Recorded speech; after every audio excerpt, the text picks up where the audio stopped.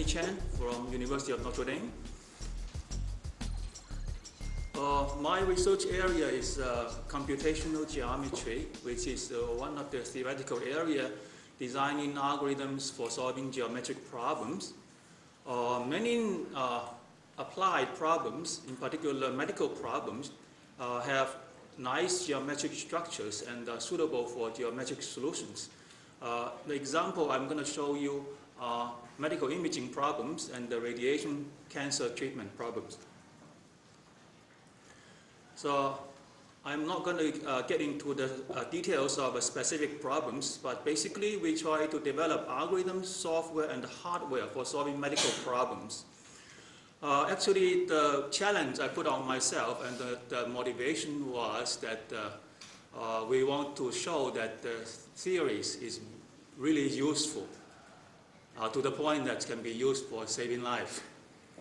So Uh, I hope that I show a little bit of examples of that in the work.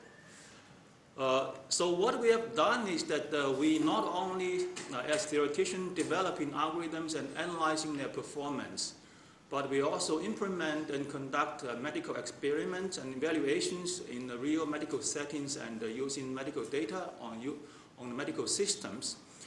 Uh, the goal, because my goal is to solve real medical problems we are not going to utilize the medical problem as a reason to, in, to put in my paper and say it has application.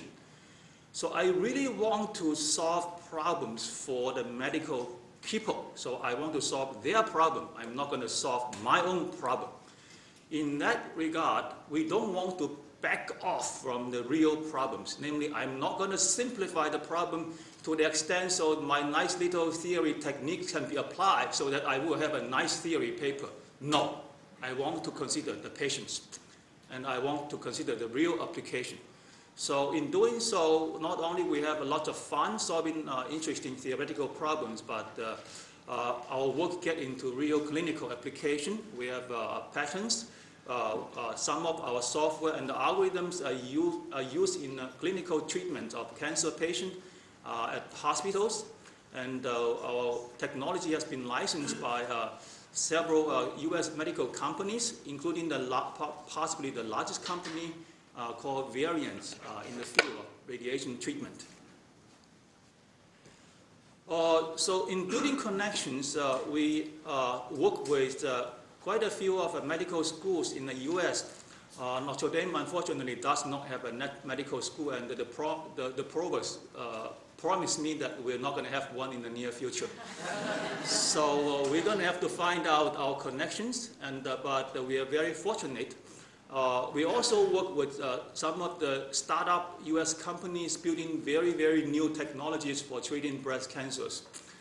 So uh, we often visit our medical collaborators and we stay with them sometimes for months during the summer to conduct real medical experiments discussing problems, modeling their process uh, with them. So uh, also I organize a DIMED workshop on uh, medical application in computational geometry to try to connect the theoretical, theoretical researchers with applied people. So uh, I think that this kind of activity really helped us. So it gave us uh, a interdisciplinary uh, project to work with, which is very exciting also pro provide us very fresh problem source, even for uh, new problems in theoretical research, and also uh, make the theoretical, theoretical components uh, much more interesting uh, and useful. And uh, personally, I feel really exciting to see that uh, our own work get into real use and treating patients. And also, if you, you, you ask me uh, what also helped uh, in our project, is that I will say that if you can really solve some problems, people will know in the medical field. So when I go to the medical conference, I expect to know, know, know people. But then I will be approached by several group of people and say, I know what you did for the Maryland group. We have these difficult problems. Can you help us with solving them? So it is very exciting and you can build new connections, possibly bring you new success.